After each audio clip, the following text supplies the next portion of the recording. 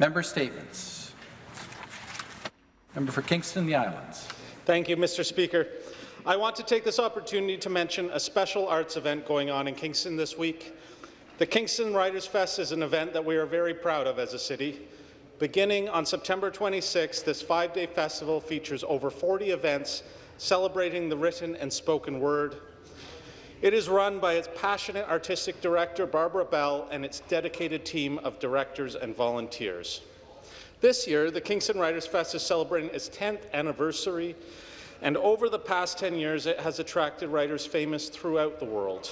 Writers such as Nobel Prize winner J.M. Coetzee, Booker Prize winner Margaret Atwood, Peter Carey, Annie Proulx, Thomas King, and many, many more. The list includes 53 Governor General Award winners, two Pulitzer Prize winners, and 10 Giller Prize winners.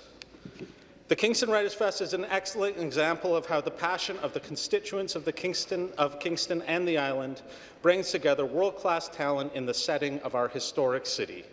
It is events like these and the embracing and promotion of culture that help make Kingston and the islands the incredible place that it is.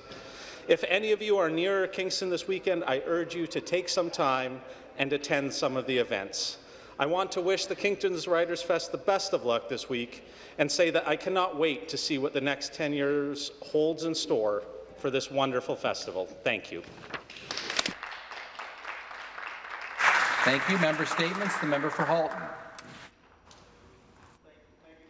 Speaker, I'm proud to represent a riding that has many family-owned apple farms like Bousfield Apple and Cider, Spring Ridge Farm, Willis Family Fruit Farm, and Chudley's Farm, Mr. Speaker, as you know, which is actually on a border of both of our ridings.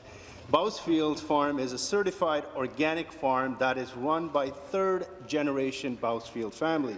They produce over 20 different kinds of apples, Mr. Speaker.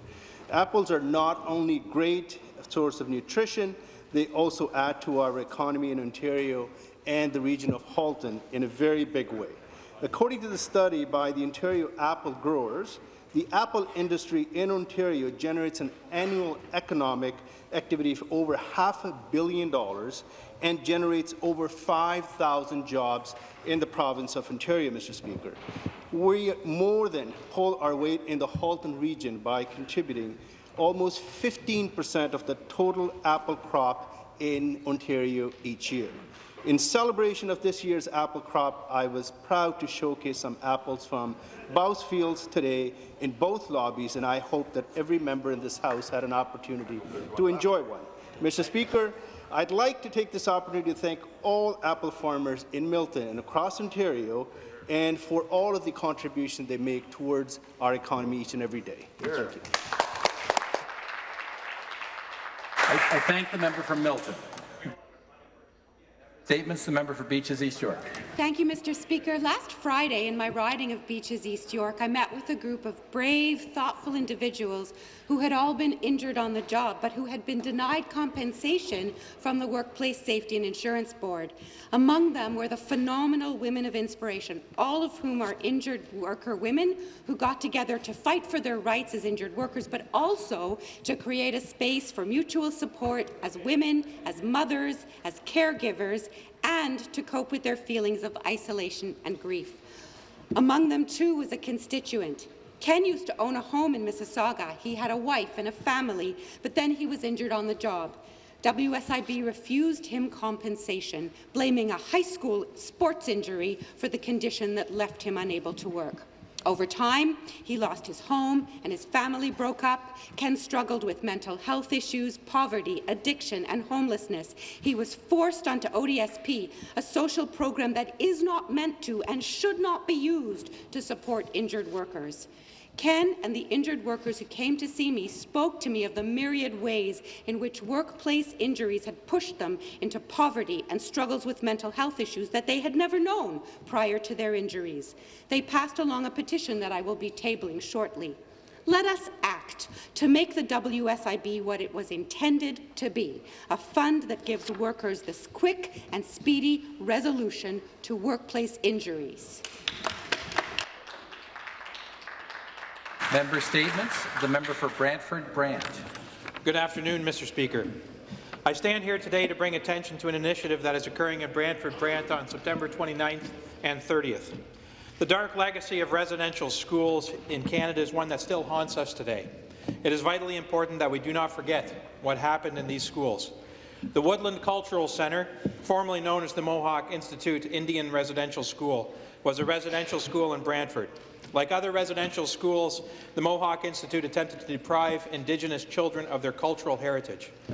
Parental rights are a mainstay of any society.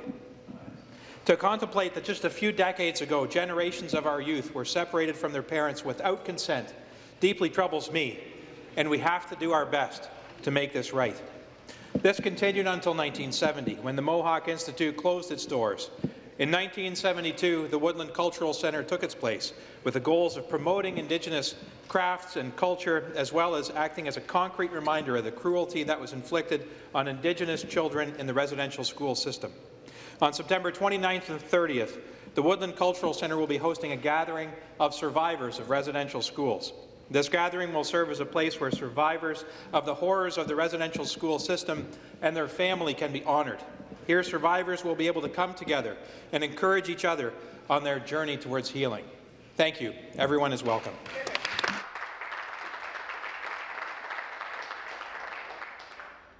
Member statements. The member for Kitchener Centre.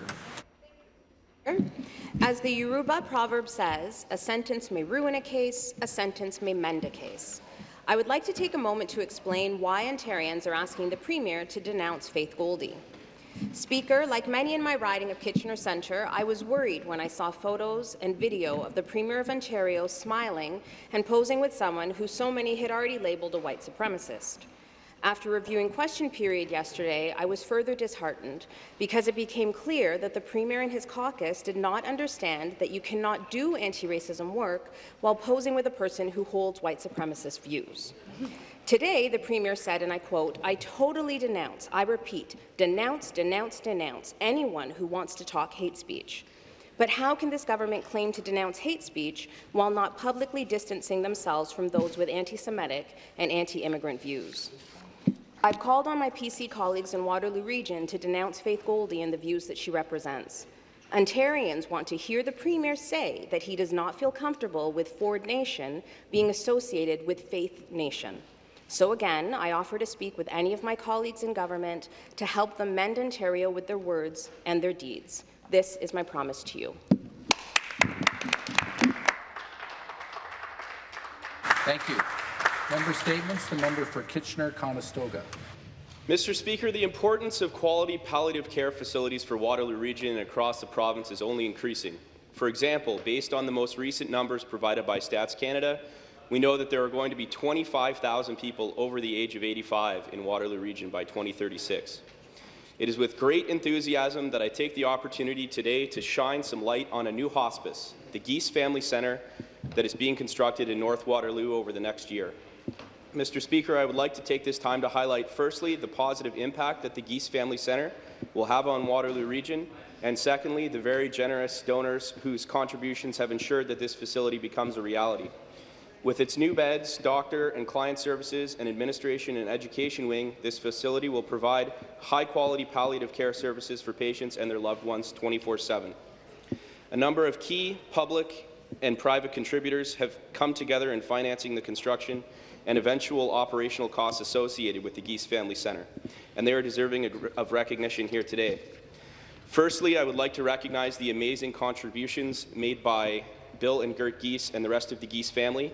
As the cornerstone donors of this facility, the Geese family contributed $2.5 million. I would also like to thank Ian and Bettina Cook, who are also deserving of recognition here, with their impressive contribution of $1 million towards this project. Additionally, I'm proud of the work that our government is doing to help get this facility up and running.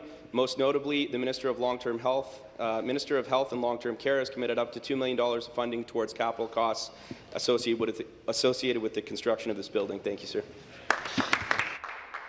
The member for Don Valley East. Thank you, Mr. Speaker. Uh, today I rise to talk about an exciting new initiative that's currently being completed in my riding of Don Valley East. In Flemington Park, the neighbourhood where I grew up, a fantastic network of community leads and local organizations, the Friends of Flemington Park Group, has been advocating for the revitalization of the Flemington basketball court. While the basketball courts already see a fair amount of usage from the community, the lack of proper lighting, safe and adequate seating, and suitable markings and pavement quality takes away from its usability. Earlier this year, MLSE and Drake's OVO brand pledged $1 million over the next three years to refurbish and refresh local community basketball courts. Seeing this new partnership opportunity, Friends of Flemington worked with the City of Toronto and was chosen as one of the four courts across the city to receive support for this initiative. The revitalized courts will open up next month with new markings, nets, backboards, pavement, a redesigned allocated space for people with disabilities, and new seating area. Mr. Speaker, this is just one of the thousands of examples of grassroots-based community organizations across our province that are making huge differences in all of our communities. I'd like to take this opportunity to thank the Friends of Flemington Park for their incredible work and uh, congratulate them for this uh, incredible initiative. Thank you, Mr. Speaker. The member for Etobicoke Lakeshore. Thank you, Mr. Speaker. This past uh, Saturday, my family and I attended Leashes by the Lake in my riding of Etobicoke Lakeshore, an amazing annual event hosted by the Etobicoke Humane Society, an organization which I hope to work very closely with. I would like to take this opportunity to thank uh, uh Christina Escassa, Joanne Hewitt, Karen Heslop, and Natasha Minstry, some of the dedicated volunteer board members of the Etobicoke Humane Society for their commitment to animal protection and providing ongoing awareness. It was a pleasure to spend the weekend with my family at Leashes by the Lake. No event is complete without the commitment from dedicated volunteers who work to strive by offering sponsorships, donating raffle items, raising pledges, or by registering to walk with or without their dog. I brought along my dog Bruce who, Bruce, who left full of treats and with a ton of attention, and uh, he loved coming to work with me that day. The purpose of this event, over and above uh, of enjoying the last few days of summer by the lake, is to raise the much-needed funds for animal protection at this no-kill shelter. All proceeds from this event will directly benefit the animals in their care. This event, in conjunction with Mimico by the Lake BIA, was spectacular and had something to offer people of all ages, such as a barbecue, pet supplies, and face painting for the children. This relationship is very important to me as I have two rescue pets, Bruce and Edward, and later this term I plan on bringing forward a private member's bill to stop the inhumane treatment of animals and to put an end to puppy mills and kitten mills in Ontario. I hope to have the support from this bill from all sides of the House. I look forward to continuing the work with the Etobicoke Humane Society and other community organization, organizations that enhance our wonderful community and we're looking forward to adding, and if you are ever looking to add a new pet to your home, please consider visiting a Humane Society first. There are many pets who are looking for their forever home. Member for St. Catharines. Thank you, Mr. Speaker. I would like to congratulate the Niagara wine community for hosting another incredible Grape and Wine Festival, the largest festival in Canada. Every year, the festival brings in countless people to St. Catharines to celebrate the incredible wine produced by wineries across the region. In employing over 18,000 people, the wine industry is both a staple of the Niagara economy as well as providing of an incredible product that is revered across the globe.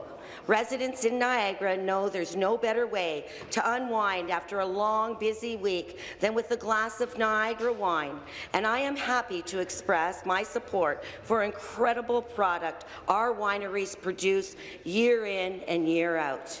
Congratulations on the 67th Niagara Grape and Wine Festival, and thank you to those who have worked tirelessly to put on, on another year of an incredible fun in the heart of the downtown town of St. Catharines. Please join us Saturday, September the 29th, for the Grape and Wine Parade in its 76th year, journeying through the downtown of St. Catharines to the historical Montebello Park for a wonderful experience in tasting the VQA wines of Niagara. Member statements. The member for Peterborough Kawartha. Thank you, Mr. Speaker. Back prior to the election in June, uh, Dan Maloney, my CFO, asked me to attend an event this past weekend, and I was quite happy to do it. Jennifer Thompson, the organizer of the event, uh, put together quite possibly one of the best I have seen. For those of you who don't know, this past weekend was the Down Syndrome Buddy Walk. It was held for the first time in Lakefield, uh, a small village just outside of uh, the city of Peterborough. We had a goal set this year for 100 walkers, and we were looking to raise $10,000. I'd like to shout out to a couple of people in particular. Police Constable Mark Hubble came in three hours early to bring a, a police vehicle in so that uh, those who were participating would have the opportunity to see it and go through and actually sit, sit in it. We had in total 400 participants. The goal originally was set for 100. Well done. Our initial goal of raising $10,000 was surpassed by 16,000. We raised just over $26,000. More importantly, we raised awareness for Down syndrome and the exceptional people that uh, this, this group supports. In total, we had 26 VIPs who took part in it. I'm quite happy to say it was one of the best events I have attended this year. Very nice.